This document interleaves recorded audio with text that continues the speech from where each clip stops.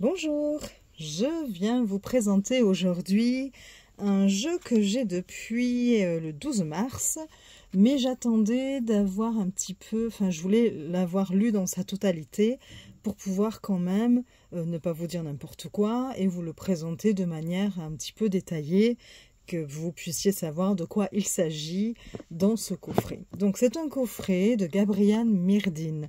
Gabrielle Myrdine, alors je ne sais pas si je prononce le, nom correctement, je suis désolée sinon. Euh, Gabrielle Myrdine a euh, fait notamment un autre coffret et c'était le, Nouvel été là que j'ai aussi, le Nouvel là, que j'aime beaucoup d'ailleurs. Hein. J'avais sa version auto-éditée. Euh, et puis, après, quand le coffret est sorti en mass market, je l'ai pris aussi, même si je préférais la couleur, je préfère la couleur des cartes. Alors, je ne les ai pas sorties là, de sa version auto-éditée ou auto-publiée, je ne sais point. Voilà, bon. Donc là maintenant, c'est sa dernière création, c'est l'héritage Le Normand. C'est un livre et avec, il y a 36 cartes, restaurées. Alors, pourquoi restaurer? Euh, Vous allez voir. je vais essayer de, vous présenter ça un petit peu avec un minimum d'ordre parce qu'il y a tellement de choses à dire. J'ai des les idées qui fusent un peu partout. Bon, voilà, c'est compliqué. Mais comme vous l'aurez compris, j'adore ce, jeu. Voilà, j'adore ce qu'il a fait, euh, j'adore la façon dont il présente les choses. C'est très très bien expliqué. vous allez voir, il nous fait un peu un tour d'horizon aussi de d'autres jeux comme le Keeper, comme l'Oracle de Séni, euh, et c'est super intéressant.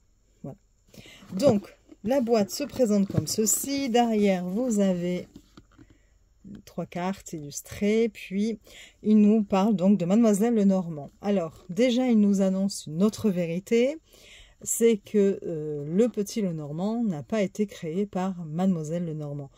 Je l'avais déjà entendu, hein, je le savais déjà quand on, étudie depuis un petit moment le petit Lenormand, euh, ben, cette information nous arrive assez rapidement.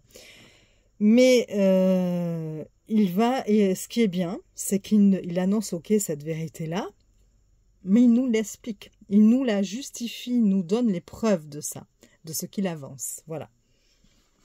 Donc, euh, il nous dit, célèbre voyante du XIXe siècle, Mademoiselle Lenormand a inspiré de nombreux ouvrages et jeux de cartes. Mais saviez-vous qu'elle n'a jamais créé ni même utilisé aucun des jeux portant son nom? Ses propres écrits et les témoignages de l'époque l'attestent, elle n'utilisait que des cartes à jouer classiques, donc des jeux de 32 cartes. Si elle avait créé le Petit Lenormand, comment s'organiserait-il? En réponse, Gabrielle Myrdine s'est inspiré de jeux et d'ouvrages anciens pour développer les cartes de l'héritage Lenormand. Il a ainsi restauré leur interprétation et rectifié leur attribution en cohérence avec la cartomancie classique. Il propose plusieurs méthodes de tirage et même un parallèle avec l'oracle Keeper. Oubliez ce que vous pensez savoir et entamez ce voyage sur les traces de la plus célèbre cartomancienne de l'histoire, au plus près de sa véritable méthode. Et on nous dit que ce coffret est composé d'un livre de 176 pages, de 36 cartes de l'héritage lenormand et d'un double grand tableau de tirage, ce sont les éditions Trajectoire. Voilà, donc coffret de très très bonne qualité, hein, comme toujours avec les éditions Trajectoire. J'ai vraiment plusieurs bouquins, euh, plusieurs coffrets de, ces éditions-là, et c'est à chaque fois une merveille. Euh, notamment leurs livres aussi, hein, qui sont souvent euh, très très complets, voilà. Donc voilà comment ils se présentent. J'ai l'impression que ma caméra est en train de se casser la figure. Bon, voilà pour le coffret. Alors, ce qu'il faut savoir, effectivement, euh, bon, moi, euh, enfin, oui, j'allais dire moi personnellement, ça ne se dit pas. moi, j'ai toujours adoré, euh, je crois vous l'avoir déjà dit, j'avais présenté un jeu du Grand Le Normand et je vous avais dit que c'était mon jeu préféré parce que c'était mon premier jeu que j'ai eu à l'âge de 15 ans, le Grand Le Normand. Et du coup, j'ai beaucoup de bouquins à ce sujet. J'ai suivi de formation. Euh, je vous avais d'ailleurs promis de, vous faire une vidéo vous présentant tous les bouquins et vous parlant de ces deux formations. Vous, étiez, vous avez été nombreux à manifester de l'intérêt à ce sujet et à me dire que vous aviez hâte de voir cette vidéo-là. Effectivement, je n'ai toujours pas pris le temps de, faire cette vidéo euh, parce que ça va me demander évidemment pas mal de travail en amont pour pouvoir justement vous présenter quelque chose d'un petit peu structuré. Mais je vous promets, je vais m'en occuper là. voilà, pour sûr, dans le mois d'avril, je vous aurai présenté mes différents bouquins et je vous aurai parlé de ces deux formations que j'ai suivies pour justement les personnes que cela intéresse. Bon, mon deuxième jeu favori. Donc j'ai connu d'abord le Grand Le Normand et puis quelques années plus tard quand même, hein, euh, j'ai euh, découvert le Petit Le Normand et là deuxième gros coup de cœur, même si ma préférence ira toujours vers le Grand Le Normand, mais voilà pour des raisons un petit peu euh, nostalgiques et puis je trouve que il cet oracle, si on peut appeler ça un oracle, ce qui est sûr, c'est que ce n'est pas un tarot, mais bon, ce jeu, euh, le grand, le normand, il est tellement complet, il aborde tellement de domaines tels que la géomancie, les constellations, le langage des fleurs, euh, la cartomancie, enfin, donc c'est difficile de ne pas aimer ce jeu-là.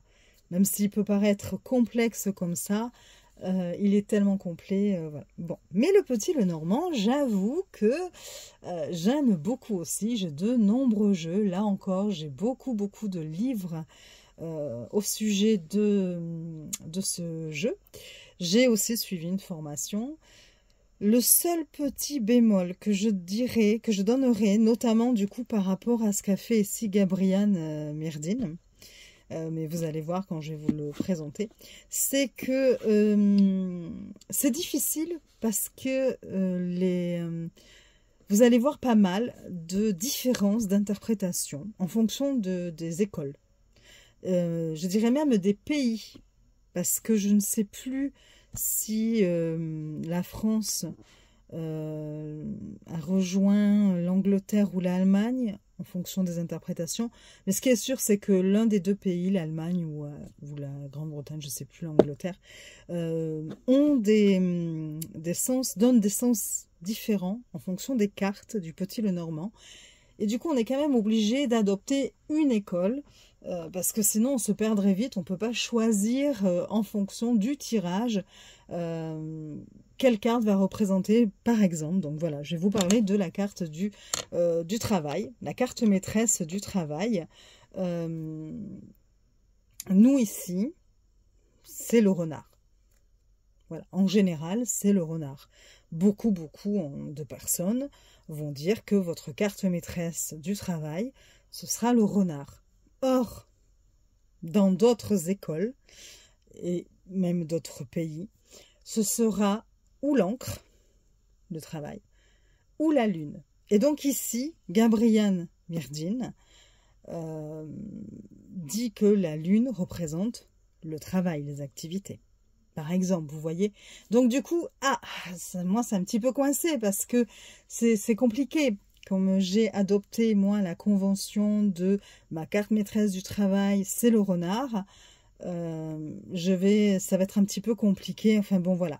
C'est juste pour vous dire ça. Il y a quelques différences par rapport à ce que l'on peut jusque-là donner comme interprétation. Évidemment, peut-être que vous, vous, jusque-là, vous vous, euh, vous attribuez euh, la carte du travail à la lune. Hein. donc, ce sera parfait pour vous. mais bon, voilà. Donc, c'est juste le petit, le petit bémol que je voulais donner. Sinon, ce jeu-là, cette création-là est une pépite. Vous allez voir pourquoi. Donc, effectivement, le coffret, vous avez un livre et vous avez aussi donc ce tapis de tirage en feuille de papier épaisse. Alors, je ne vais pas pouvoir vous le montrer, hein, vous imaginez bien, parce que euh, ah ben, je n'ai pas de place, comme d'habitude. Hein. Vous devez avoir l'habitude maintenant en regardant mes vidéos, si vous regardez mes vidéos. Mais vous avez du coup euh, le tirage du grand tableau, mais de deux façons, parce que là encore, il y a deux écoles. Il y a ceux qui utilisent euh, le grand tableau, donc en faisant, euh, donc il y a 36 cartes dans le petit le normand, donc en faisant de, 4 lignes de 9 cartes.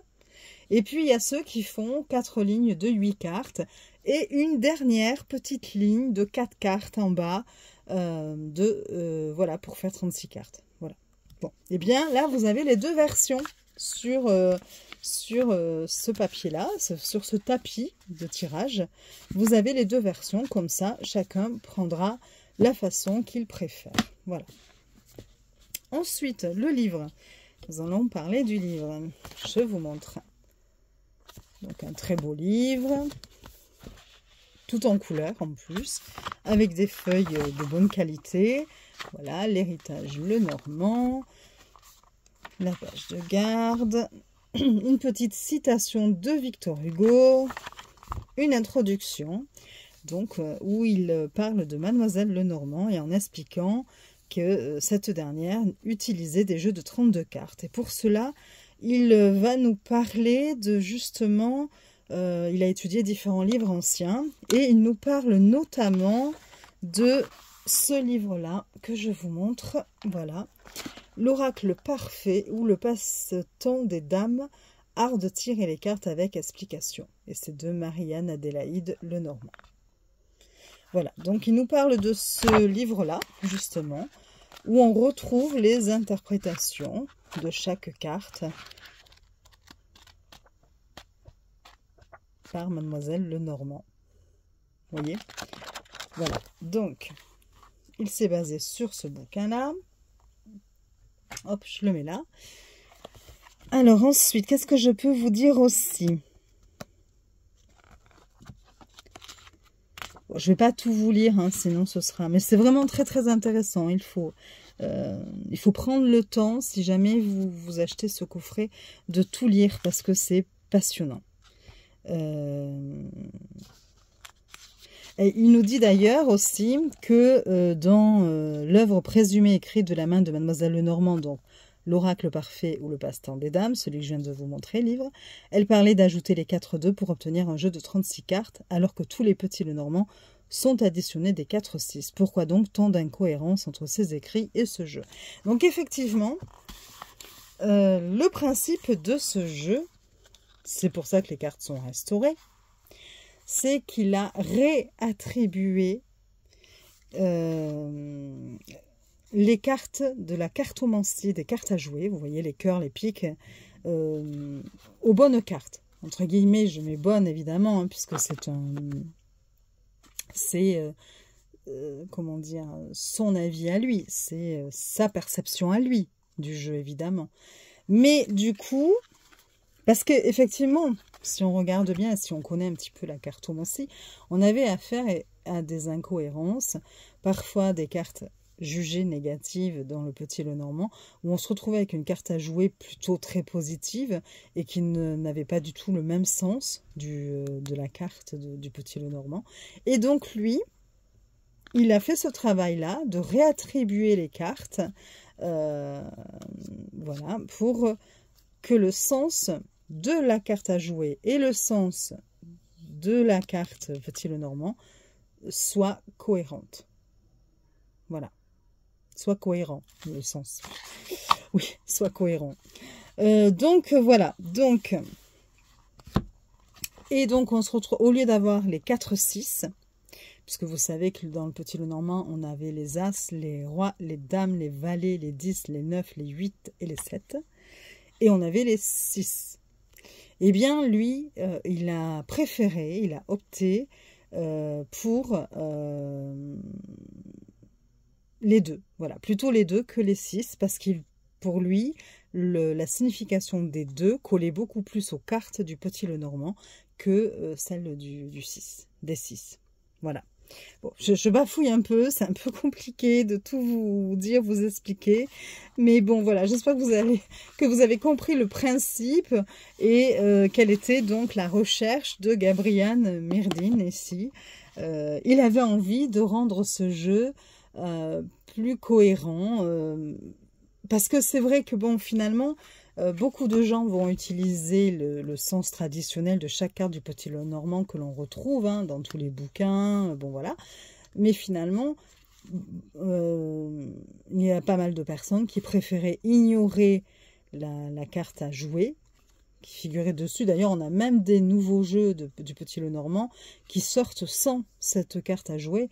Et ça, je trouve ça dommage parce que moi, je sais que je les utilise euh, d'une autre façon. Mais bon, voilà, euh, si vous avez envie, de découvrir justement ces méthodes-là, euh, je vous conseille la formation de Martha Vision qui se trouve sur YouTube, euh, Martha Vision. Je vous mettrai peut-être le lien, comme ça vous, saurez de, quoi il s'agit, euh, qui fait une formation géniale avec des méthodes très originales que l'on retrouve nulle part ailleurs.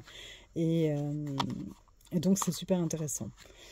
Bon voilà, donc mais dans sa, méthode à elle, on utilise les cartes à jouer. Donc les jeux sans les cartes à jouer de mentionner sur les cartes, malheureusement, sont sans intérêt pour nous. Bon, mais là, Gabriel a changé les cartes à jouer euh, et a mis celles qui correspondaient, selon lui, au sens de la carte du petit le normand. Voilà. Bon, donc, il nous explique tout ça. Évidemment. Il nous explique un petit peu pourquoi, comment. Euh, comment il a fait ce choix-là en prenant dans certains euh, euh, écrits, justement, des interprétations de tirage de Mademoiselle Lenormand. Bon, voilà. Donc, il nous explique tout son travail hein, et tout l'acheminement de cette pensée. Donc voilà, il nous parle du jeu du petit espoir de, le jeu de l'espoir du petit Lenormand que l'on retrouve, je crois que je l'ai aussi, je ne l'ai pas attrapé, euh, que vous pouvez avoir notamment sur Amazon. Hein. donc voilà. J'essaie d'aller d'aller assez vite. Donc, euh, l'oracle parfait, euh, le passe-temps des dames, voilà, vous l'avez ici. Je vous ai montré le livre que je possède aussi.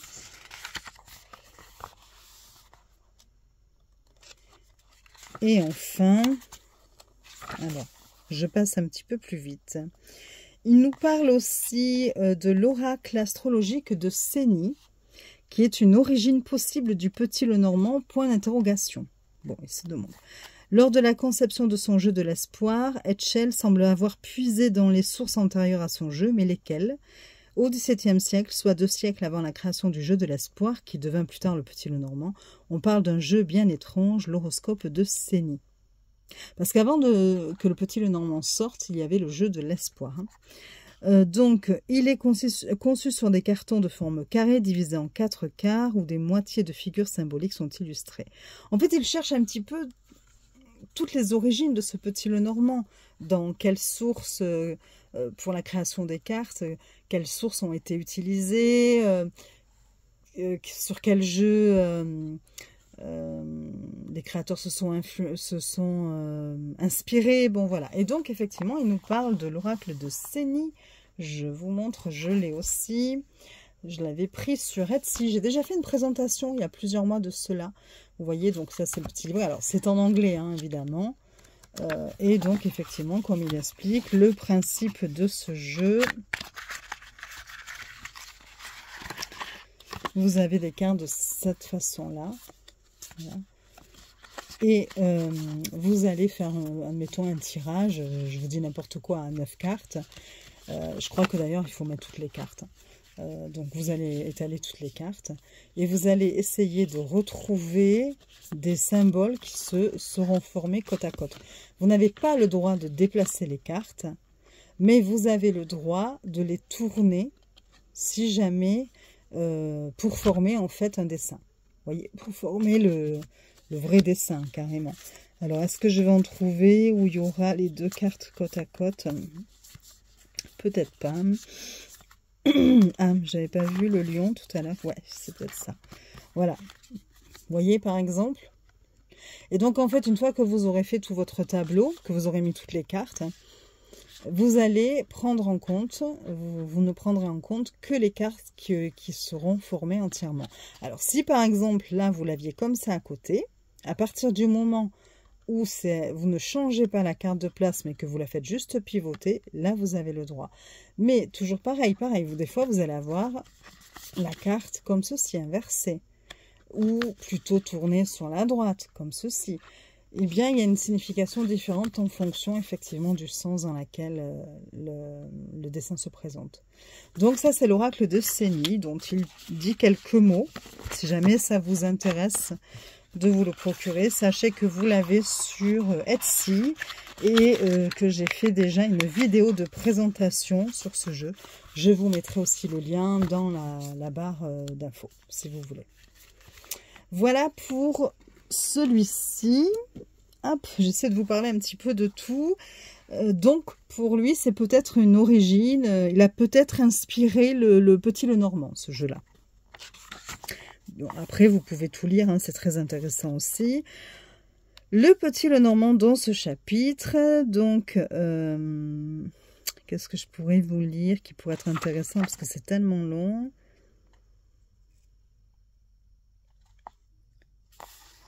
Donc, il nous dit Au vu des chapitres précédents, on pourrait alors se demander en quoi on peut rapprocher des illustrations du jeu de l'espoir, devenu Petit le Normand, aux significations de la cartomancie classique. Et pourtant, à force de tenter de trouver des symboles pour mettre en image les significations des cartes classiques, j'ai pu constater qu'il était finalement possible de rattacher la plupart des symboles du Petit le Normand aux valeurs classiques des cartes à jouer, mais pas dans leur ordre habituel. Ainsi, ce coffret vous propose de rappeler la signification des cartes classiques telles qu'elles furent établies, au XVIIIe siècle et donc telles que les utilisait Mademoiselle Lenormand, bien avant d'être déformées par le temps jusqu'à nos auteurs modernes. Et afin de se représenter plus facilement leur symbolique, il sera donc proposé une correspondance avec les illustrations du Petit Lenormand, bien que dans des associations différentes que celles habituellement attribuées. Afin de souligner l'incohérence des attributions habituelles dans le Petit Lenormand avec la cartomancie classique, elles seront aussi indiquées à titre de parallèle pour que chacun puisse se faire sa propre opinion sur la question. Une suggestion de correspondance avec l'oracle de Séni sera aussi proposée pour son approche astrologique des figures.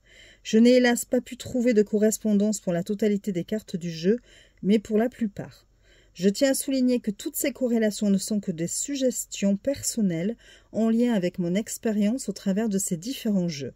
Rien n'atteste de ces valeurs particulières, mais toute personne connaissant ces jeux sera sans doute surprise par ces nombreuses coïncidences et par les rapprochements possibles, et ceux qui les découvrent pourront en apprécier les nombreux échos. Ensuite, il nous donne quelques généralités sur les cartes d'autrefois, donc il se, base notamment sur des écrits de précurseurs de la cartomancie comme Antoine Cour de Gébelin ou le comte de Mêlée, euh, Mademoiselle Lenormand. Et il nous dit donc que les carreaux représentent la campagne et le travail. Les membres de cette famille sont généralement éloignés ou voyagent beaucoup, d'un tempérament assez ambigu et un peu égoïste. Ils sont tantôt appréciés, tantôt craints. Ces énergies sont généralement liées à l'élément terre. Il nous parle ensuite des trèfles qui représentent le commerce, la richesse, l'argent et les possessions. Les membres de cette famille ont généralement les cheveux foncés, châtains ou bruns. Réputés pour être fougueux et dynamiques, ils ont une énergie euh, de feu. Les cœurs, qui représentent la vie citadine, la ville où l'on vit, les proches et les sentiments, voire la vie spirituelle, les membres de cette famille, patati patata, et enfin les pics, pareil, la justice, l'administration, les épreuves et les imprévus de toutes sortes. Les membres de cette famille sont généralement indépendants et solitaires, patati patata. Bon. Ainsi, lors d'un tirage, la dominante d'une famille de cartes indique déjà l'ambiance générale. Beaucoup de trèfles signifient beaucoup d'affaires d'argent, beaucoup de piques indiqueront beaucoup de soucis, etc.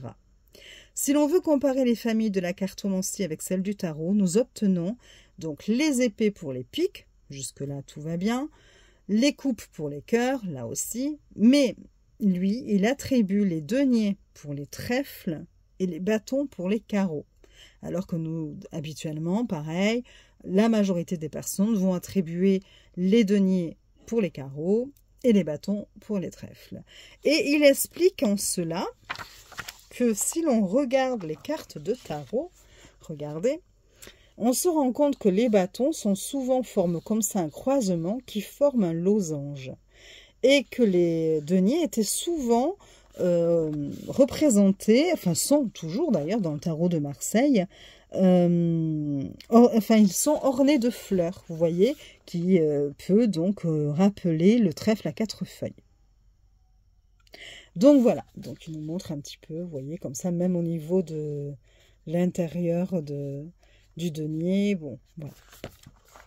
Donc il explique toujours ses choix, euh, il explique toujours le pourquoi du comment. Il ne nous annonce pas comme ça des choses en disant, ben voilà, je fais ça comme ça, et puis point barre, bon, non, non, non. À chaque fois, tout est expliqué, c'est en ça que ce livre est super intéressant, et que l'on voit vraiment le travail qu'il a réalisé avant de, sortir cette, cette création, ce jeu-là. Alors ensuite, il nous parle des figures, donc des rois, des dames, des valets. Il nous parle aussi des 7 et 8 qui étaient autrefois associés à des jeunes filles. Aujourd'hui, seuls les 8 de cœur et de trèfle symbolisent encore des jeunes filles, blondes pour la première, brunes pour la seconde. Elles, incarnent alors la polarité féminine juvénile de leur famille. Puis il va nous parler un petit peu des nombres. Donc, il va nous parler des As, qui représentent l'énergie source et brute d'une famille. L'As de cœur représente les émotions, l'As de trèfle l'abondance, etc. Les neufs, qui sont l'apogée des valeurs d'une famille qui atteignent leur paroxysme. Par exemple, pour le neuf de cœur, c'est le plus grand bonheur. Et puis, pour le neuf de pique, c'est plutôt le plus grand malheur. C'est la pire carte du jeu. Et les 10, enfin, évoquent l'accomplissement, le résultat final, l'accumulation, la synthèse des énergies d'une famille. Ainsi, le 10 de cœur incarne la ville pour cette famille citadine, le 10 de carreau la campagne pour cette famille lointaine, le 10 de trèfle parle d'argent pour cette famille financière, et le 10 de pique évoque les larmes pour cette famille d'épreuves. Voilà. Ensuite, euh, on va nous parler, enfin, il va nous parler des groupements de cartes de même valeur. Et effectivement, c'est assez euh, intéressant parce que vous allez avoir, vous allez voir dans les cartes proposées, vous allez avoir une carte qui va vous donner la signification de, euh, de ces groupements de cartes de même valeur. Par exemple, si vous avez 4 reines, hop, ça veut dire ça. Si vous avez 3, 10, hop, ça veut dire ça. Vous allez voir, c'est assez intéressant aussi. Euh, là aussi, il nous explique hein, que de toute façon, euh, euh, sur ce, à ce sujet, personne n'est jamais d'accord pour ce groupement, et ça c'est vrai, hein. il y a de quoi se prendre la tête. C'est pour ça que j'ai essayé maintes fois hein, d'étudier la cartomancie des, enfin, avec les cartes à jouer, le cœur, pique, mais c'est très difficile parce qu'il y a tellement de contradictions. Alors j'ai trouvé quelques bouquins qui me plaisaient un peu mieux, ou un peu plus. mais euh, ça reste quand même, euh, on a intérêt vraiment à trancher, mais comme le petit le normand aussi, hein, c'est ce que je vous disais tout à l'heure, on a quand même quelques différences d'interprétation. Et si on ne décide pas nous-mêmes, euh, si on ne choisit pas une convention, ou si on ne tranche pas en disant bah, moi, c'est cette version-là qui va le plus me parler, ou euh, euh, par rapport à certains résultats de tirage que j'ai eu, j'ai pu tirer certaines conclusions, et donc moi, je fais le choix de prendre cette carte-là pour représenter le travail, ou je fais le choix de choisir cette interprétation-là pour cette carte, sinon il y a de quoi en perdre son latin. Voilà. Donc là, c'est pareil. Euh, il nous dit qu'évidemment, pour ces groupements de cartes, quatre rois, quatre dames, euh, dans un tirage, eh bien, euh, personne n'est jamais d'accord. Et donc, c'est Eteia qui fut le premier à écrire sur ce sujet. Il dissociait ces groupements si les cartes sont à l'endroit ou à l'envers. Certains livres prétendant s'inspirer de la méthode de Mademoiselle Lenormand vont même jusqu'à détailler la composition de chacun de ces groupements, pour en moduler la prédiction selon les familles qui le composent, effectivement, on peut retrouver par moment, si vous avez quatre dames, dont deux rouges, deux noirs, ou une rouge, trois noirs, ça veut dire ça, ça veut dire ça, bon voilà. Afin de faire simple et surtout faciliter l'accès à ces occurrences, je vous propose cette synthèse inspirée de ces deux auteurs, mais aussi deux versions plus contemporaines sur l'interprétation des cartes de même valeur, sans tenir compte qu'elles soient à l'endroit ou à l'envers, et peu importe leur famille. Libre à chacun d'utiliser cette méthode ou toute autre, là encore, tout est une question de convention établie avec vos cartes. Et donc, il nous redonne euh, ici donc quatre as, triomphe imprévu, chance, grande opportunité, succès, trois as, petite réussite, modeste, commencement d'un succès. Et c'est ce que l'on a sur une carte. Voilà, comme ça, ça vous évite si vous n'avez pas envie d'amener le bouquin et que vous partez de chez vous, vous voulez euh, amener juste le jeu de cartes, vous avez cette carte-là, vous voyez, avec euh, tous les groupements possibles. Voilà, recto verso. Et vous les avez dans le bouquin aussi. Et nous passons enfin à la signification des cartes. Et là, je ne vous ai lu que un dixième, je dirais, ou un tiers de ce qu'il dit. Euh, j'ai essayé de faire un résumé succinct, même si je vois bien que je suis un peu partie à droite, à gauche, et puis hop, un petit retour en arrière, et puis bon. Mais je vous conseille vraiment de le lire entièrement avant de commencer à utiliser le jeu, parce que c'est passionnant et c'est super intéressant. Signification des cartes.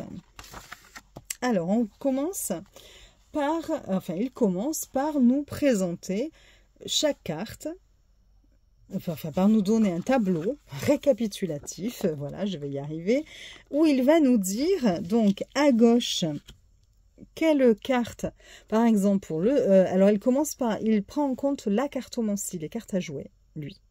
Donc c'est dans cet ordre-là. Donc il nous dit, allez, l'as de carreau, avec, euh, dans le petit le normand traditionnel, les autres petits le normand que l'on a eu jusque-là, eh bien, c'était le soleil qui était associé à l'as de carreau, lettre nouvelle. Et le soleil voulait dire, veut dire bonheur, succès, énergie. Et en face, vous avez, eh bien voilà, moi, Gabriel, il dit, moi, j'ai associé, comme l'as de carreau veut dire lettre nouvelle, eh bien, je l'ai associé à la lettre carte 27 du Petit Lenormand, qui veut dire nouvelle, courrier, papier.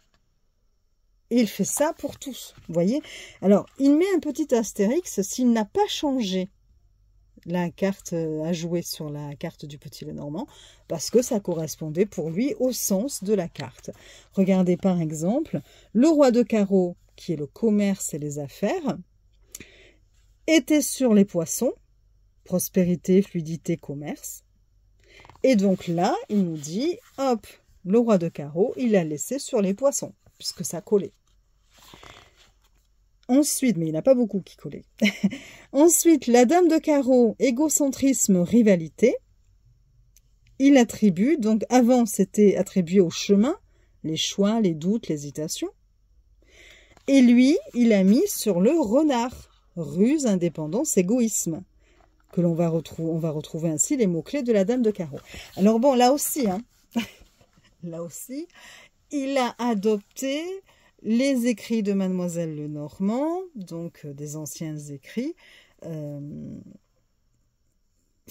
voilà, parce que la dame de carreau, de nos jours, dans les livres modernes, ne va pas forcément représenter une personne égocentrique ou une rivale. certes, on va encore le trouver, hein, d'ailleurs, dans certains bouquins, mais d'autres vont quand même adapter euh, parce que Notamment dans les anciens écrits, vous savez que souvent ils se basaient même sur la couleur des cheveux et du style la reine de cœur blonde, eh bien c'était la femme, la gentille, euh, un peu nunuche quand même, d'où toutes les blagues après qu'on s'est euh, coltiné sur les blondes. enfin bon, je, plaisante. Hein. Mais et puis la femme brune, c'était la femme intelligente, mais en même temps sans cœur, froide, euh, dont il fallait se méfier. Vous voyez, donc les, dames de pique, en général, elle n'était pas sympa ou des choses comme ça. Donc bon, euh, voilà, donc c'est vrai que s'il s'est basé sur certains des écrits, on peut retrouver comme ça des traits de caractère. Je ne sais pas, par exemple, la dame de, pique. Alors bon, il nous fait ça donc effectivement pour toutes les familles, toutes les suites. Hein. donc euh, là, vous aviez les carreaux. Vous avez pareil pour les cœurs, donc l'ancienne version et lui, les adaptations qu'il a mis, mises en place. Ici, la dame de pique, vous voyez par exemple, c'est l'isolement, l'enfermement, les deux mots-clés qu'il a attribués à cette carte-là. Donc, avant, c'était la dame de pique était sur le bouquet, et le bouquet voulait dire surprise, cadeau, invitation. Donc, évidemment, euh, là, faire la corrélation entre les deux, c'était un petit peu difficile. Eh bien, lui, il a mis la dame de pique, isolement, enfermement, sur la tour, qui représente la solitude, l'isolement, la supériorité. Voilà. Euh, le valet de pique, qui représente la fourberie et la séduction, était sur l'enfant, et l'enfant c'est la nouveauté, l'innocence, l'immaturité. Eh bien lui, il a mis ce valet de pique sur le serpent, qui est l'ennemi, la séduction, la transformation. Donc euh, on retrouve un peu plus, voilà, il y a plus de cohérence dans ces choix d'attribution. Euh, de, la cartomancie sur les cartes du petit Lenormand. Voilà. Ensuite, on passe hop, directement Euh, donc, à l'interprétation des cartes. Donc, première petite chose aussi, hop, il nous a mis une carte supplémentaire, le Joker, qui va représenter la carte du consultant. Consultant ou consultante. Si vous voulez faire un tirage concernant une femme, vous allez la mettre dans ce sens. Concernant un homme, dans ce sens. Et pour lui ainsi, comme ça, on peut utiliser 28-29 pour euh, représenter une autre femme ou un autre homme ou un proche. Vous voyez, bon. Euh, parce qu'il n'y a qu'un personnage féminin et un personnage masculin. Euh, par rapport par exemple au Keeper qui a beaucoup plus de figures hein, dans son jeu. Donc voilà, il a fait ce choix-là.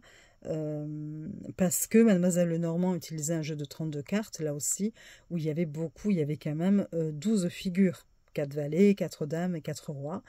Et là, les possibilités avec le petit Lenormand sont quand même, les personnages présents dans le jeu du petit Lenormand sont limités à deux, le consultant, la consultante. Bon, après, on peut avoir effectivement avec le renard une personne fourbe, on peut avoir, mais bon, voilà.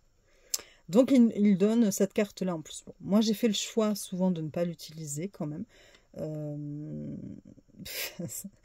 oui, j'ai du mal aller quand même, même si je suis assez d'accord avec tout ce qu'il peut avancer, hein, évidemment. Mais bon, il y a certaines choses, par contre, euh, je suis pas encore prête à faire le sacrifice. Et, mon petit Lenormand, il a 36 cartes, il n'en a pas 37. Donc voilà, mais je trouve l'idée quand même plutôt sympa. Et voilà, et je pense que ça peut être sympa, notamment pour des tirages, vous la posez comme ça. Et, euh, voilà, hein, aussi. Hein. Mais bon. Alors, ce qu'il propose, évidemment, si vous l'utilisez et que vous faites, par exemple, un tirage euh, neuf cartes. Au centre, on doit mettre la carte maîtresse par rapport à votre question. Si c'est l'amour, un cœur, euh, voilà. Si c'est le travail, donc avec lui, c'est la lune. Pour moi, c'est le renard. Bon, voilà. Mais, et donc, on va la mettre au centre. Et si c'est pour vous, par exemple, tout simplement, euh, vous allez vouloir mettre votre carte. Donc, vous choisissez celle-ci, d'utiliser celle-ci. Vous optez pour ce choix-là eh bien, il dit que du coup, vous pouvez recouvrir cette carte, euh, voilà.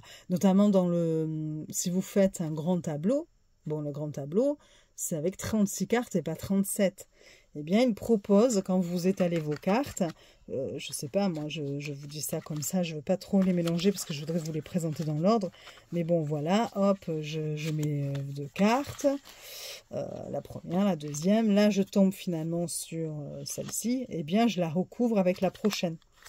Hop, pour bien faire mon tableau de 36 cartes, vous voyez?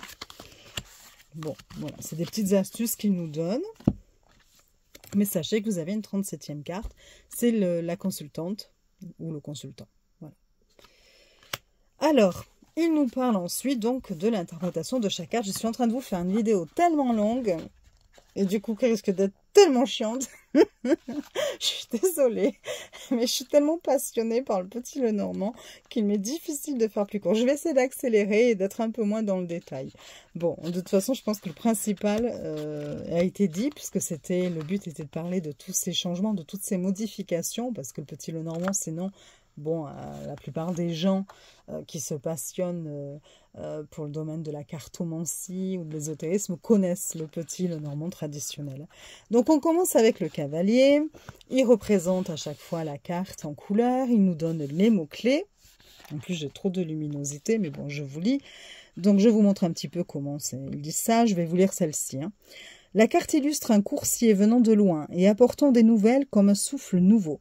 Il annonce une rencontre, une visite ou l'arrivée d'un message important ou d'une proposition, souvent inattendue. Son dynamisme évoque la nouveauté, des idées fraîches et novatrices, l'activité, l'optimisme, mais aussi le côté sportif, athlétique et souple. Dans l'horoscope de Séni, il peut être associé à la planète Mercure, évoquant les bénéfices dans les commerces, les spéculations et les conseils. Nouvelle attribution. Donc là, il nous dit, lui, quelle carte de la carte des cartes à jouer il a mis sur cette, sur cette carte du cavalier. Donc il a mis le valet de carreau. Dans la cartomancie classique, il représente un messager, un jeune homme adroit et voyageur, parfois en uniforme, militaire, facteur, etc. Il est porteur de nouvelles et prêt à se rendre utile. Et il nous rappelle habituellement quelle carte il y avait sur ce cavalier. Et donc, sur le petit le normand traditionnel, le valet de carreau était attribué donc à la faux, faux qui, est symbole de fin de cycle d'imprévu. Et par contre, sur le cavalier, vous aviez le 9 de cœur qui symbolise la réussite, la victoire et la satisfaction. Donc effectivement, on voit que son choix est quand même beaucoup plus cohérent avec l'interprétation de la carte du cavalier. Et vous avez ça donc pour toutes les cartes. Voilà, toujours la représentation. Et à chaque fois, bon. Alors ensuite, hop, vous voyez là, on a vu euh, pas la moitié, je crois. Mais je vais aller plus vite, je vous assure. Tirez les cartes. Donc, pareil, voyance ou guidance, il nous faut un petit chapitre là-dessus. Euh, bon, il dit, enfin c'est assez intéressant quand même, hein, c'est vrai. Euh, même si, euh, comment vous dire, là aussi c'est mon point de vue, je vous le donne, mais après bon voilà. pour moi, le petit le normand est un jeu de cartes divinatoire. Et j'ai envie de dire parfois aux gens, mais laissez-nous-le comme tel un petit peu. Vous croyez qu'on n'a pas assez d'oracles pour de la guidance? Ça foisonne de partout aujourd'hui. On a énormément de jeux pour de la guidance, pour du développement personnel. Euh, et je, enfin, parfois j'aurais envie de, de, dire, mais ne touchez pas forcément euh, à tous les justement ce que l'on aime, ce qu'on en apprécie dans le petit le normand, c'est qu'il y a vraiment, il peut nous donner des choses, des éléments tellement précis, des éléments divinatoires tellement précis, euh, c'est un petit peu dommage d'aller encore détourner celui-ci alors qu'on a moyen d'avoir tellement d'autres oracles de, guidance. Euh, et je trouve ça dommage. Bon voilà, parce que j'ai l'impression qu'à chaque fois on veut maintenant toujours euh, on décrit euh, carrément euh, la divination. Ah, c'est pas bien de prédire l'avenir, c'est et puis non, il faut juste faire du développement personnel, il faut vraiment soit, c'est très important de, voilà, après chacun son avis. Moi j'aime aussi faire du développement personnel, comme vous avez pu le voir. j'adore notamment les livres à ce sujet. J'ai notamment, j'adore les créations de hum, Chloé Bonfil, la licorne indigo. Euh, voilà, je suis quand même ouverte un petit peu à tout. Mais j'adore aussi les jeux de divination et j'aurais envie qu'on nous les laisse un peu tranquilles. Bon, voilà. Euh, lui, ce qu'il dit, par contre, est qu'il n'est pas faux. Donc, je vais vous lire un petit peu ce paragraphe-là. Je me dois d'exposer ici une nuance importante à mes yeux qui fait toute la différence. La cartomancie classique est réputée pour être très factuelle et permettre des prédictions éloquentes. Par exemple, Reine de cœur plus As de carreau plus 7 de trèfle, une femme blonde vous envoie une lettre au sujet d'une petite rentrée d'argent. Par expérience, je me suis rendu compte qu'utiliser les cartes pour de la simple prédiction factuelle peut avoir pour effet d'embrouiller la personne qui consulte dans ses questionnements. Elle ressort alors souvent de sa séance avec plus de questions que de réponses.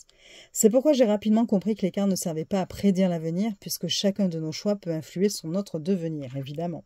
Il nous donne notamment l'exemple de si quelqu'un vient vous demander euh, est-ce que je vais avoir mon examen? Et que vous lui dites oh oui, haut la main, et cette personne, si elle décide du coup de, dire oh ben c'est bon, elle arrête de travailler, d'étudier, et finalement elle échoue à son examen, et là, elle peut dire, ah ben voilà, le, voyant ou la cartomancienne ou le cartomancien m'avait dit ça, il s'est trompé.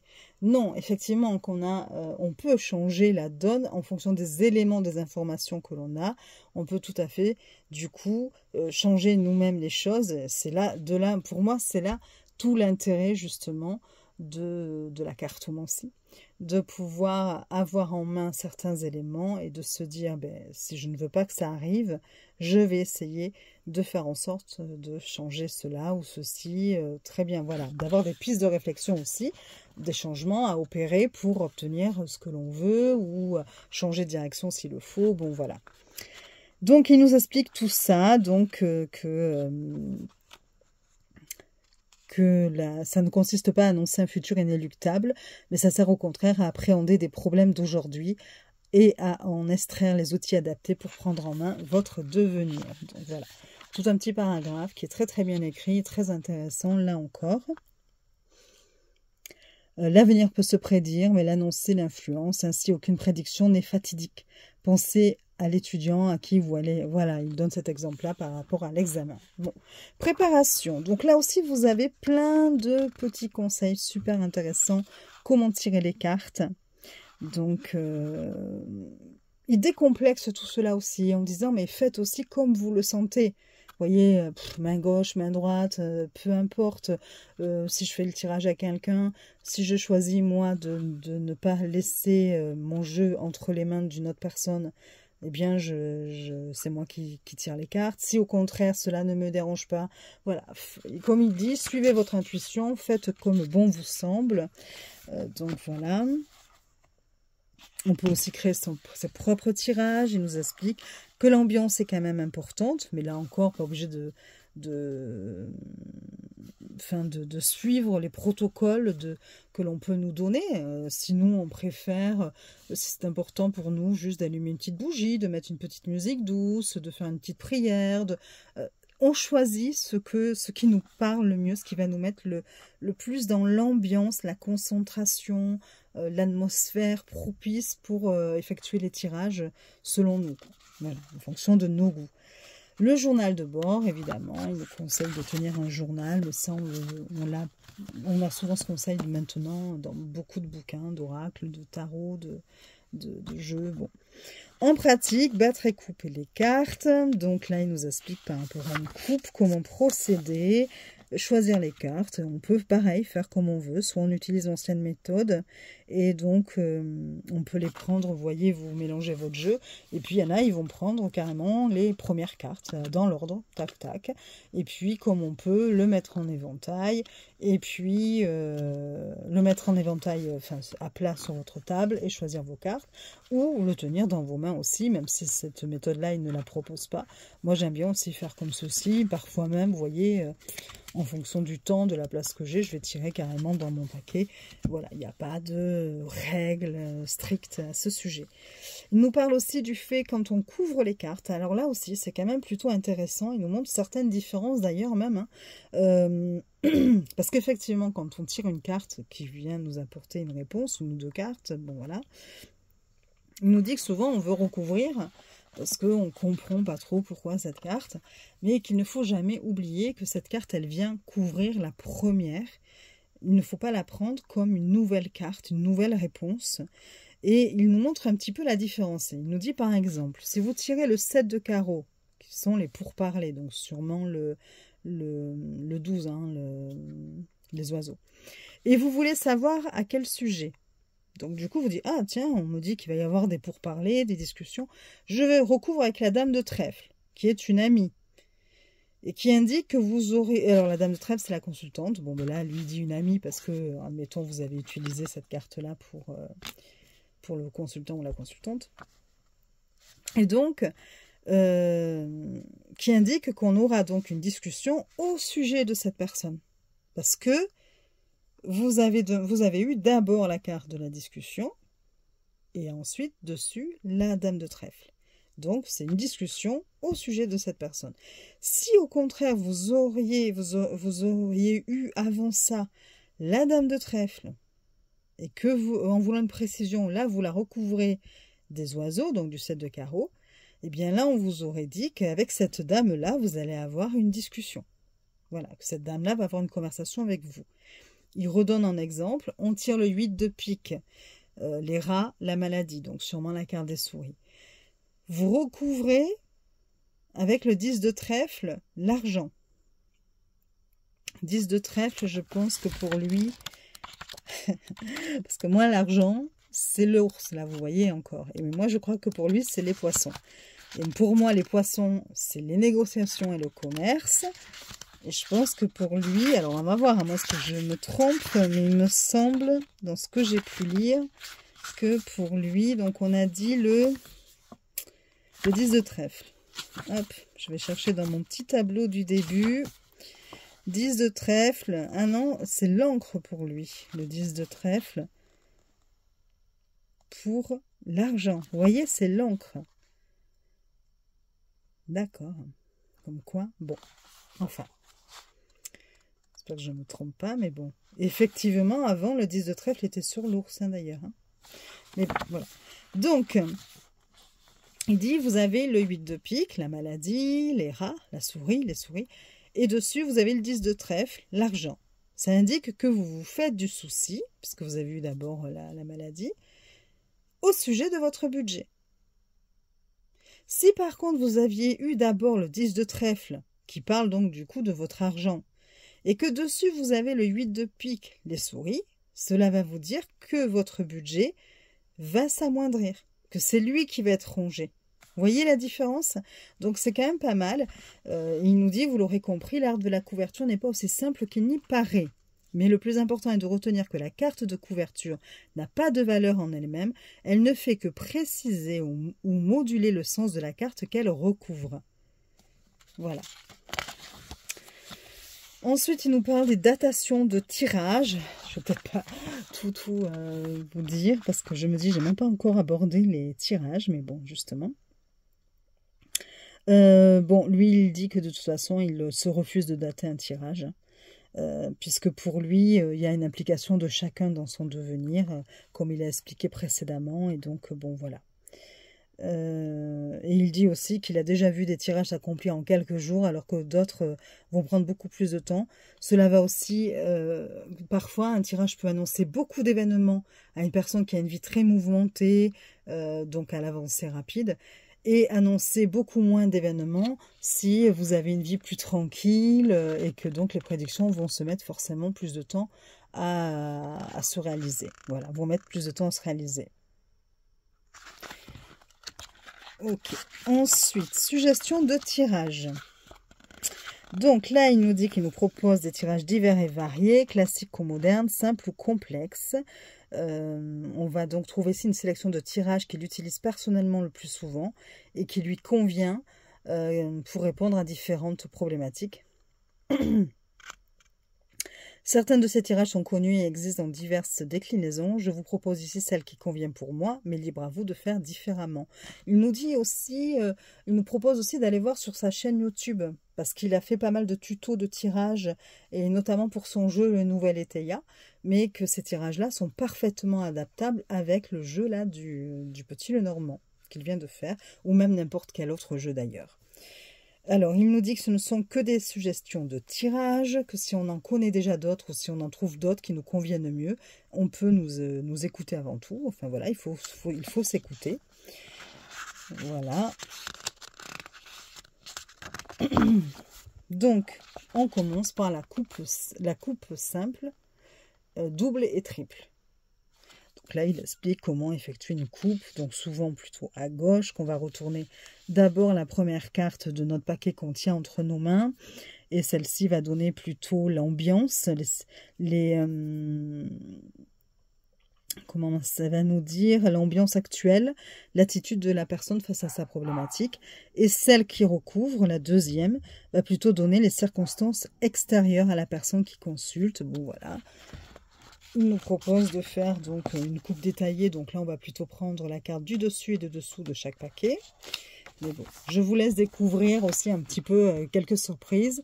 Le jeu de la coupe, donc là c'est quand on effectue plusieurs coupes à suivre, vous savez, on retourne en coupe, et puis ensuite on va retourner une à une chaque carte et les associer. Il nous parle aussi donc évidemment de la de la, du tirage passé, présent, futur. Mais là, ce qui est intéressant, au lieu de se retrouver avec trois cartes, c'est à sept cartes. Donc, vous allez voir la première et la deuxième, ce sera le passé. La 3, 4, 5, les 3, 4, 5, c'est le présent. La 6, 7, futur, avec toujours une nuance, hein, passé lointain, passé proche. Euh, pour le présent, vous allez avoir les influences présentes, la situation présente, les perspectives présentes. Pour le futur, les influences futures et le résultat final. Voilà. Les tirages sont super intéressants aussi. Hein. J'ai trouvé que... Alors pareil, là, au début, j'ai un peu tiqué. j'ai un peu fait la grimace en me disant, hum, ça coince pour moi parce que euh, je me suis toujours dit, de toute façon, le petit le normand, et c'est aussi ce que j'ai appris, euh, ne peut pas s'interpréter avec une seule carte. Euh, voilà, je ne peux pas poser une question et me dire, ah tiens, comment va se passer mon entrevue de demain? Hop, j'ai la tour. Alors évidemment, je pourrais toujours sortir des petites choses. Hein. Euh, je pourrais toujours sortir des petites choses. Mais pour moi, euh, on m'a toujours dit que la réponse ne pouvait s'obtenir qu'en associant les cartes dans le Petit Le Normand. Que les cartes du Petit Le Normand ne sont pas faites pour être interprétées euh, une à une. Donc, du coup, quand j'ai vu des tirages un petit peu comme la croix celtique, comme là, vous voyez, je me suis dit, ah oui, mais là, ça va pas. Bon, j'ai testé pas mal de ces tirages hein, déjà. Euh, comme je vous dis, j'aime bien d'abord tester les choses avant de vous en parler. Et finalement, si, c'était pas mal. Voilà, c'était pas mal. Les, réponses apportées, c'était plutôt intéressant. Alors après, vous avez toujours aussi le tirage 9 cartes qui est proposé, donc là, c'est plutôt les associations des cartes. Vous avez toujours le grand tableau. Bon, donc, la croix de Saint-André. Je vais pas, oui, je, je, vous laisse découvrir par vous-même, parce que là, on est déjà à 55 minutes, et je fais que parler, parler, parler, vous devez avoir ras-le-bol. la chaîne des 13, la roue des 16, en plus des tirages proposés avec pas mal de cartes. Hein. L'arbre de vie, bon, ça j'aime un petit peu moins. Le chien de pique, que j'ai testé, j'ai beaucoup aimé d'ailleurs. Vous savez, le, ce, euh, on le retrouve beaucoup dans la cartomancie, justement avec les cartes à jouer, euh, avec le valet de pique qui prend un tout autre sens. Donc, euh, on doit remuer les cartes et puis deux par deux, on les pose et on va retenir cinq cartes. par exemple, la consultante, donc la dame de trèfle, et si dans, dans les, deux cartes qu'on a posées, s'il y a la dame de trèfle, on va garder la carte qui est avec. Vous voyez? Sinon, on, jette les cartes. Enfin, on les garde pas. Euh, mais vous devez faire ça pour la reine de trèfle, donc l'as de cœur, qui représente la maison, le 7 de trèfle, qui représente la pensée, l'activité, le 9 de trèfle, et le chien de pique, c'est le valet de pique, donc le serpent, dans le petit lot normand. Et donc, c'est l'événement imprévu, la surprise. Donc vous allez vous retrouver avec 10 cartes, puisque ces 5 cartes-là accompagnées des cartes qui étaient avec, de la carte qui était avec. Et ensuite, vous allez battre le reste du jeu, euh, les cartes du, euh, voilà, qui restent. Et vous allez venir tirer, vous voyez, les cartes pour euh, les, encadrer. Donc, hop, une à gauche, une à droite. Et vous allez les interpréter ensemble, sachant que les cartes que vous rajoutez, c'est la couverture là encore. C'est pas nouveau, euh, une nouvelle interprétation. C'est juste pour avoir des éléments par rapport à la carte que vous auriez que vous aurez eu. Bon, voilà. Bon, j'arrête. Je crois que c'est très compliqué tant qu'on ne le teste pas. Et puis je vous explique ça. Ça fait un peu cafouillis, mais bon, voilà. Un tirage relationnel que j'ai testé aussi, qui était très intéressant à travers son cœur. Donc ça, c'est pour savoir un petit peu ce que l'autre euh, a dans sa tête par rapport à la relation que vous partagez avec. Ça peut être professionnel, ça peut être euh, personnel, etc. C'était aussi très intéressant, je l'ai testé. La progression spirituelle, ça je l'ai pas encore euh, testé. Le tirage de la Merkaba, que je n'ai pas testé non plus. Le carré de neuf que j'ai testé, évidemment. Donc, vous voyez, là, on vous dit que si c'est... Parce que vous mettez au milieu la carte euh, concernant le domaine de votre question. Et donc, euh, le consultant ou la consultante, c'est le roi-reine de trèfle, donc la dame et le monsieur. Hein. Une affaire, c'est les poissons. Donc, on reste quand même, oui, comme euh, dans, enfin, dans ma convention, c'est ça aussi. L'amour, c'est le cœur, ça ok. Le couple, l'anneau, ok. La carrière, la lune. Bon, voilà, moi, il n'y a que ça qui diffère. Pour moi, la carrière, c'est... Quoique, bon, on a dit la carrière par le travail. La carrière, il y a une notion quand même aussi là de renommée, de mérite, de réputation. Le travail, peut-être que... Bon, à voir. De toute façon, voilà. Ensuite, le tableau astrologique, c'est très intéressant aussi, il nous explique plein de choses. Donc là, avec les 12 maisons, hein, évidemment il nous montre comment les disposer. Le grand tableau façon petit le normand. Donc là, il nous parle effectivement de la méthode avec 4 lignes de 9 cartes et de la méthode 4 lignes de, de 8 cartes et les 4 euh, cartes qui restent en bas. C'est très très... Euh, c'est plutôt bien expliqué, hein, vous voyez. Alors évidemment, hein, euh, ça reste quand même succinct. Euh, enfin, moi, je vois par exemple, pour le grand tableau, j'ai un livre entier à ce sujet, hein, notamment d'Alexandre Musruck, euh, où on a vraiment chaque point, tout ce qu'on peut utiliser comme méthode d'interprétation avec ce grand tableau. Et dans la formation de Martha Vision, c'est vraiment très, très détaillé, très complet, avec euh, de nouvelles pistes d'interprétation. C'est super intéressant. Voilà.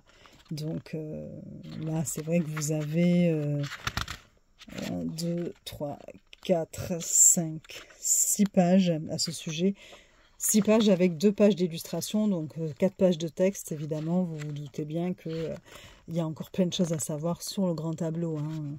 Voilà. Vous avez carrément, c'est plutôt pas mal, des QR codes pour aller voir euh, les vidéos qu'il nous présente, où il nous présente ces tirages-là. Donc ça, c'est plutôt bien, je trouve. Et enfin, on attaque les annexes. Et donc là, il va nous parler du grand tableau selon l'oracle parfait, euh, en nous expliquant pour chaque case, parce que le grand tableau de l'oracle parfait est différent du tableau du grand Lenormand que l'on utilise. Vous voyez, vous avez la carte 1, ça va être le projet, la case 1, le projet, la case 2, la satisfaction, la case 3, la réussite, bon voilà. Et il nous explique ce que cela veut dire, euh, comme, euh, voyez par exemple la carte 1, le projet, si vous avez des cœurs sur cette carte-là, c'est un succès dans les projets. Si vous avez des trèfles, ça veut dire ça. C'est plutôt pas mal. Hein. du coup, il vous donne d'autres éléments si vous avez envie d'utiliser d'autres types de, de tableaux, de cartes. C'est plutôt pas mal. Vous voyez, vous avez l'oracle Keeper carrément aussi où il nous explique son origine, les différentes euh, créations qui sont sorties au sujet de ce jeu, notamment, donc, euh, voilà, il nous parle effectivement de... Euh, comment En 2017, Tony Poole, je ne sais pas si on dit comme ça, ça s'écrit P-U-H-L-E, mais bon, voilà, et qui a sorti un livre qui est incroyablement détaillé sur ce jeu, donc en 2017, et je l'ai, effectivement, alors je vous montre parce que franchement, si vous aimez le keeper ou que vous avez envie d'apprendre le keeper qui est génial, qui je crois nous apporte encore plus de détails que le petit le normand, je vous conseille déjà d'acheter ce jeu-là, cette boîte-là. Donc vous avez les cartes, hop, alors c'est Tony Pool, Pool, ou je sais pas, et Steven Bright. Et euh, vous avez un livre qui est déjà très très bien expliqué, mais résumé quand même. Euh, voilà. Et vous avez les cartes, alors, qui sont pas forcément très belles là, mais qui respectent... Alors, attendez. Oui, c'est peut-être des cartes en plus que j'ai pas sélectionnées. Ouais, parce qu'il y avait plusieurs cartes qui représentaient... Ah non, peut-être pas, attendez. Ouais, parce que celle-là, je l'ai pas. Si, c'est ça. Ça, c'est coincé dedans. Attendez. de toute façon, je ne vais pas vous faire toute une présentation, hein, c'est juste les grandes lignes. Au pire, je vous présenterai, si ça vous intéresse, je vous le présenterai euh, en vidéo à part. Donc d'abord, il y a ce coffret-là. Voilà, vous voyez. Là, vous pouvez choisir entre celle-ci ou une autre. Hein. Vous avez deux cartes représentant... Euh, vous en avez trois, en fait, voilà. Comme ça, ça c'est vous qui choisissez en fonction d'eux. Euh, peut-être même trois ou quatre, je sais plus. Bref, c'est pas grave. La direction, et c'est ce qui nous explique dans son livre, euh, euh, comment mince, Gabriel, c'est que dans le Keeper, il y a vraiment d'autres conventions plein d'autres choses qui sont très importantes que l'on n'a pas forcément avec le petit le normand. Par exemple, le petit le normand, dans un grand tableau, euh, ce qu'il y a devant la, femme, ce sera son futur. Ce qu'il y a dedans son dos, enfin derrière, ce sera euh, le passé. Pareil pour l'homme, hein. on a le passé à gauche, à droite l'avenir, bon voilà. Tandis que dans le petit le normand, c'est le regard qui compte. C'est-à-dire que là, vous avez cette carte-là, le passé, il ne sera pas là. Gauche, il sera là. Il tourne le dos. Donc c'est le passé. Ça, c'est le futur. Et vous avez ça même pour tous les autres personnages. Il y a plus de personnages aussi dans le Keeper. Vous avez des cartes de euh, connexion, connecteur. Vous avez des cartes d'arrêt, de stop. Vous avez, euh, vous avez plein de catégories il en parle. Ça, il fait un petit résumé quand même qui est assez bien, je trouve, euh, Gabriel. Et, mais dans ce jeu-là, ce qui est bien, c'est que vous avez un code couleur qui va vous dire d'entrée si c'est une carte d'arrêt, si c'est une carte de connexion, enfin connecteur, je ne sais plus comment on dit, euh, de mouvement, de direction. Vous voyez, il y a tout ça. Et du coup, pour apprendre, c'est super. Voilà, ce jeu-là pour apprendre, il est génial. Et en plus, vous avez un livre qui est super bien expliqué, succinct, enfin qui a été quand même euh, résumé, mais où on va vous dire quand même déjà le plus important. Euh, Vous voyez, c'est vraiment euh, le placement, comment le lire, voilà. Et pour chaque catégorie, on vous dit avant, voilà, les cartes d'arrêt, hop, vous les avez toutes là, et elles sont rouges. Et vous allez avoir après, hop, je vous montre rapidement, hein. les cartes de mouvement, elles sont bleues. Voilà. Les cartes les codes de connexion, connecteurs, elles sont, hop, roses. Et on va vous dire du coup quelle interprétation, quelle carte euh, autour vous allez, euh, vous allez euh, sur quelle carte autour vous allez devoir faire attention pour avoir vos réponses. Et donc lui, bon, il ne parle pas de ce coffret-là, mais il nous parle, je le pose là pour le moment, j'ai plus de place, de ce livre-là. Et ce livre-là, mais c'est une tuerie. C'est le livre de Tony Pull, justement, ou Poul, je ne sais pas comment on le dit. Et il est, alors en anglais, hein, je suis désolée, il est en anglais, hein, mais j'ai pris le temps, moi, de voilà, faire la traduction à Google Traduction, les imprimer, de tout lire. Et euh, franchement, mais vous avez tout. Vous avez tout sur ce jeu, c'est expliqué, mais de façon simple, et c'est tellement complet. Euh, je pense que voilà, pour apprendre le Keeper, c'est ce livre-là qu'il faut avoir. Voilà. Il y a tous les détails, c'est génial. Voilà. Bon. Donc, et c'est donc de ce livre-là dont il parle aussi, dont il fait référence. Il parle effectivement aussi de, en 2020, Alexandre Musruck qui a publié une version très élégante euh, aux airs vintage du Keeper, qui est disponible en français. Mais vous n'avez pas tous ces détails. Sincèrement, vous n'avez pas... Euh, il n'y a pas toutes ces notions-là. J'aime beaucoup ce que fait Alexandre Musruck, hein, euh, mais euh, là, vraiment, quand j'ai pris ce bouquin et que j'ai vu la traduction, euh, il n'y a pas de commune mesure. Voilà. Je pense qu'Alexandre Nostrak a voulu simplifier et là, un peu le normandiser, si on peut dire ça comme ça. Mais bon, voilà, je préfère quand même ce que dit Tony Poul, sur, le Keeper et je vous le conseille mais dix mille fois. Voilà notamment avec ce coffret-là pour apprendre. Alors vous trouvez les deux hein, sur Amazon, hein, c'est jamais. Voilà, je dis pour ceux qui s'intéresseraient au Keeper, parce que vraiment le Keeper euh, vous, donne des, détails incroyables, des choses que vous n'aurez même pas, je, trouve, avec le Petit Le Normand, personnellement, voilà. Même si, comme je vous dis, euh, le Petit Le Normand, je l'adore, hein, mais voilà. Bon, voilà pour ça. Donc, effectivement, il nous parle du Keeper. Et il va nous donner, il a réussi, parce que le keeper, il n'y a pas de correspondance avec les cartes à jouer, cœur, trèfle, pique. Eh bien, lui, il a fait ce travail, là encore, de recherche pour euh, arriver à mettre les cartes euh, de cartomancie qui correspondraient aux cartes du petit keeper. Enfin, du keeper, pourquoi je dis petit Comme le petit le normand. Du keeper, voilà. Ce qui fait que quelque part, si vous n'avez pas un jeu de keeper, vous pouvez utiliser les cartes avec euh, l'héritage le normand, avec le coffret l'héritage le normand, en, suivant ces indications. Il nous explique les directions, c'est ce que je vous disais. Hein. Donc voilà, il nous dit que dans le Keeper, les directions des cartes jouent un rôle essentiel. Aussi, les jeux de regard priment et offrent des précisions fascinantes en fonction de l'emplacement et des cartes voisines. Voici en résumé les différents types de cartes du Keeper. Et donc, il nous parle des cartes directionnelles. Et donc, c'est le regard du personnage qui va nous indiquer vers où se porte l'attention, son attention. Les connecteurs, qui relient les cartes qui se trouvent de chaque côté. Les stops, qui vont dire que là, il n'y a pas de direction ni de connexion et ça marque une pause dans la lecture avant de passer à un autre sujet. Elles peuvent aussi fermer un tirage indiquant qu'il n'est pas nécessaire d'aller plus loin. Les causes à effet, les cartes cause-effet. Donc dans leur dos, souvent se trouve la cause et devant eux le résultat. Mais parfois, on peut avoir des, significations supplémentaires avec les cartes au-dessus et au-dessous.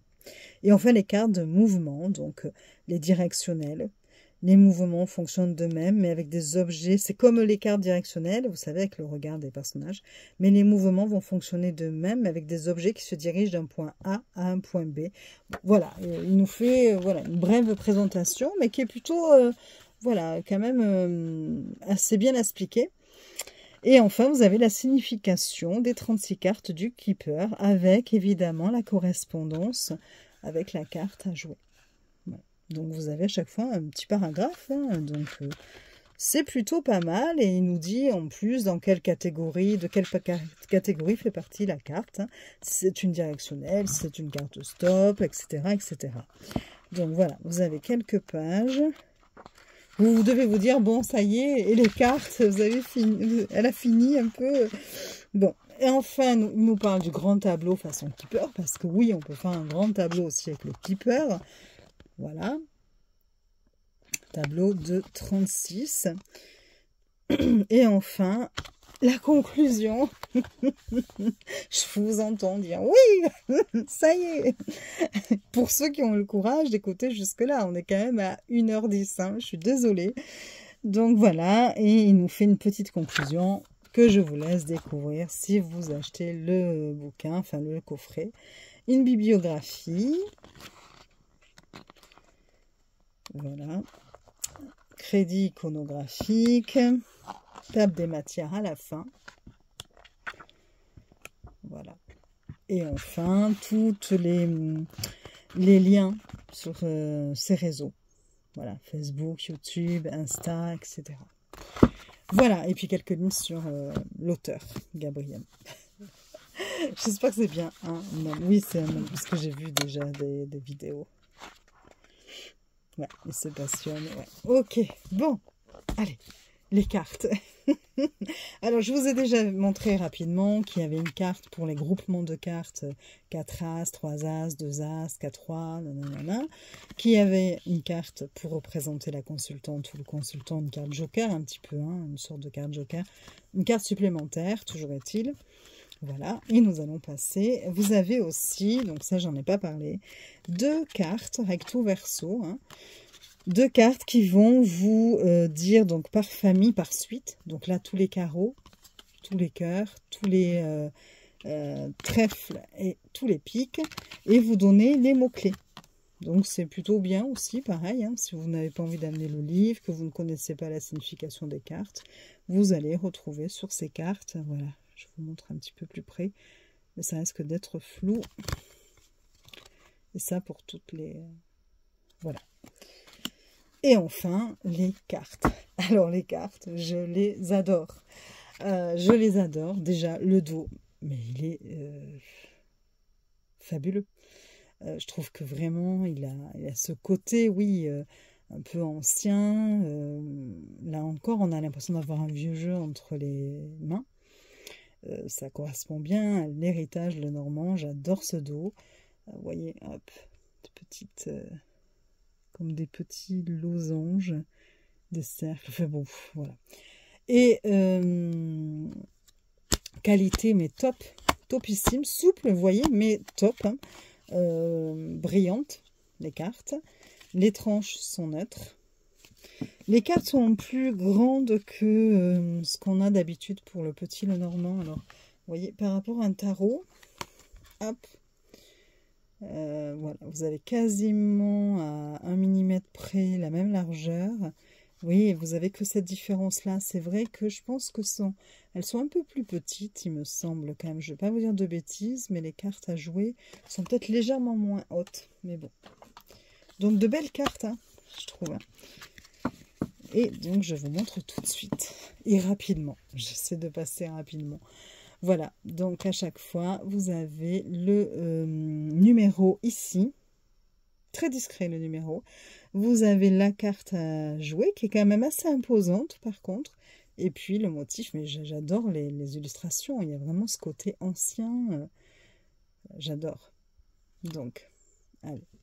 Le cavalier, le trèfle, le bateau, et puis, ben, du coup, il est différent de vos autres petits lots normands que vous pourriez avoir déjà chez vous, puisque ce ne sont pas les mêmes cartes à jouer.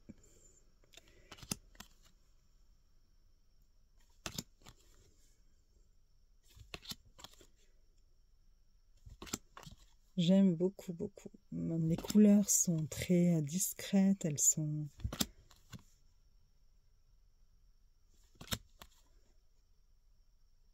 Oui, il y a un petit côté ancien quand même. Hein.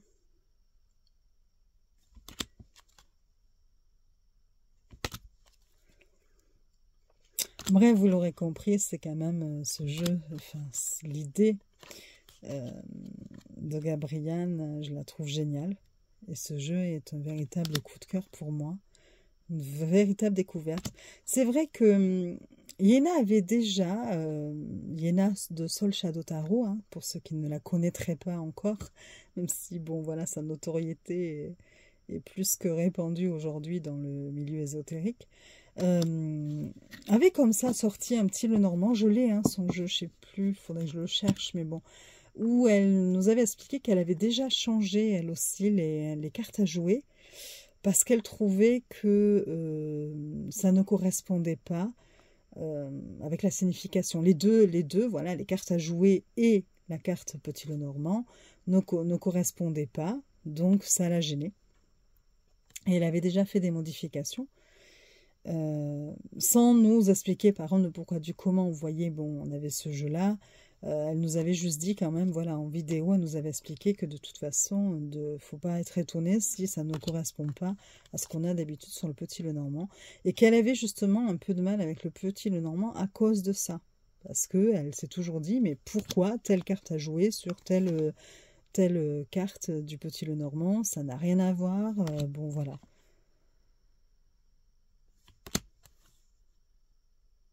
Donc je pense qu'elle pourrait d'ailleurs beaucoup aimer le, l'idée là de Gabrielle, enfin son nouveau projet. Je ne sais pas si elle le connaît.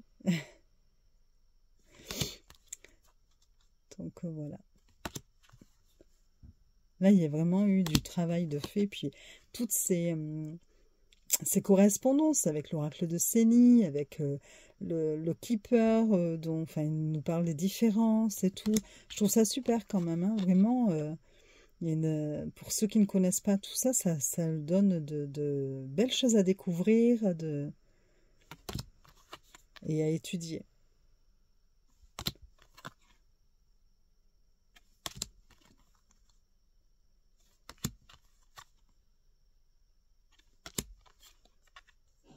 Je suis désolée, je les passe un peu vite, hein, mais J'ai tellement parlé avant. Je pense que l'intérêt, oui, les cartes évidemment, parce que comme je vous dis, il y a une très belle qualité, elles glissent très bien, j'adore, j'adore, j'adore. j'arrête. Mais euh, voilà, vous voyez, c'est euh, très, très. Euh, il n'y a pas de chichi, il n'y a pas de, dorure, de, fioriture, mais elles sont belles, je trouve elles sont belles, elles font, elles sont de très belle qualité elles vont, euh, c'est tout l'ensemble, hein, voilà, c'est l'ensemble, tout, est en, tout a une cohérence, tout est en coordination, je trouve, et ça c'est super, ouais, vraiment un très très beau travail, voilà, je suis pressée de voir la prochaine création de Gabriel. parce qu'entre le nouvel été là, qui était quand même très très bien aussi, euh, qui est très très bien, hein, il est toujours en vente hein, pour ceux qui le voudraient. Maintenant, l'héritage le Normand, ben pourquoi pas un petit keeper, hein, euh, voilà, un petit keeper à sa façon. Un petit, pourquoi je dis petit encore Un keeper à sa façon, ça peut être super intéressant. Bon voilà, si jamais il tombe sur ma vidéo, je vous souffle l'idée, il a peut-être déjà eu d'ailleurs, on ne sait pas. Mais euh, voilà, Bon, allez, j'arrête de vous euh, de blablater et j'espère que cette présentation vous aura plu. Je suis désolée pour la longueur. Euh, j'ai dû en plus me répéter plusieurs fois. Euh, voilà, j'espère que ça n'a pas été trop de cafouillage aussi parce que j'aurais peut-être dû un petit peu m'organiser un peu mieux. voilà, pour éviter de passer d'un sujet à un autre. Mais bon, voilà, j'espère que la vidéo vous aura néanmoins plu, vous aura permis de découvrir euh, ce qui est proposé dans ce coffret. Et euh, je vous souhaite une belle journée. Vous pouvez mettre un petit like si la vidéo vous a plu. Vous abonner pour voir mes prochaines euh, présentations. Si, le cœur vous en dit, ça fait toujours plaisir. Mettre un petit commentaire, j'aurai plaisir d'y de, d'y répondre. Et je vous dis à très vite. Des bisous